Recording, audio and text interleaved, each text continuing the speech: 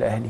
لازم أسأله السؤال اللي هو أول ما جالك الأهلي كان إحساسك إيه وأول ما سبت الأهلي كان إحساسك إيه؟ أنا شخصيا بحب أعرف الفرق بين الاحساسين لا طبعا يا كابتن النادي الأهلي يعني شرف لأي حد يعني أنا مش عايز أوصف لك يعني بعكس دلوقتي يعني م- أنا رحت الأهلي في 2007 آه، بعد برضه عذاب يعني أنا 2006 بنافس على هداف دوري وما كانش النادي الأهلي برضه في الوقت ده بيطلب أي حد. يعني. كان حلم بالنسبة لي حلم مش طبيعي يعني. فطبعا لما رحت تاني سنة بقى معايا مع المحلة وكده برضه كنت بنافس على هداف دوري وكده فلما لقيت طبعا النادي الأهلي بيكلمني و... وإن بنسبة كبيرة إن أنا أكون موجود معاهم وكده فطبعا لأ كان الموضوع كان صعب يعني. كان صعب. يعني من الفرحة. آه طبعا صعب جدا يعني مبسوط جدا وإنت موجود في أحسن نادي في في في, في أفريقيا. أنا لعبت قصاد النادي الأهلي وأنا في الالومنيوم. وأنا في النادي الأهلي وأنا في غزل المحلة برضو.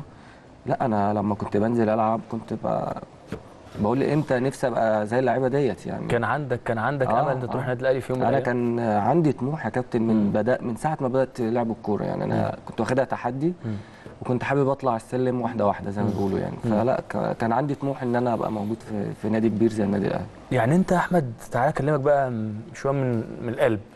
قلبت الدنيا في أيام المحلة؟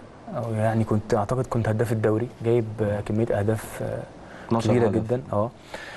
وبعدين الدنيا اتقلبت عليك أهلي زمالك دروجبا يروح فين؟ واخترت النادي الأهلي.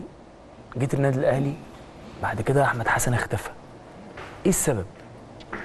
بص يا كابتن أنا يمكن أنا لعبت في في غزل المحلة بقول لحضرتك موسمين. كنت بنافس في الموسمين على هداف دوري. تمام. الموسم الأول ما فيش ولا أهلي ولا زمالك ولا أي حد اتكلم عليا خالص. لأن بقول لحضرتك كانت الأمور صعبة ما كانش بيختار أي حد النادي الأهلي يعني كان لما بالظبط. بيختار حد بيبقى مش واحد لاعب ماتشين ثلاثة ورا بعض كويس فالنادي الأهلي يجيبه.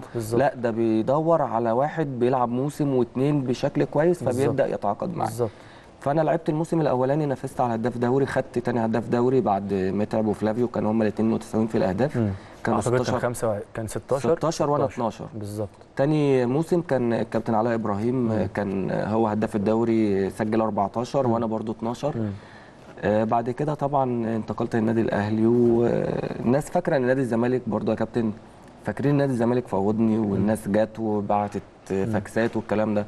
فاكسات اتبعتت فعلا من نادي الزمالك بعد ما مضيت. مم. بعد ما مضيت بعد ما النادي. مضيت النادي الأهلي والنادي الأهلي في في ثلاث أيام يا كابتن الموضوع كان خلصان. يعني كان عندي معسكر في المحلة كان مباراة دوري ممتاز قبل قبل الموسم ما يخلص بأربع ماتشات كده تقريبا. مم. مم. طبعا المسؤولون كلموني قالوا لي ثلاث أيام بالظبط. مم. بعد ثلاث أيام لقيت الناس جاية المحلة و... والأمور بشكل. آه طبعا وده كان شرف ليا طبعا. مم.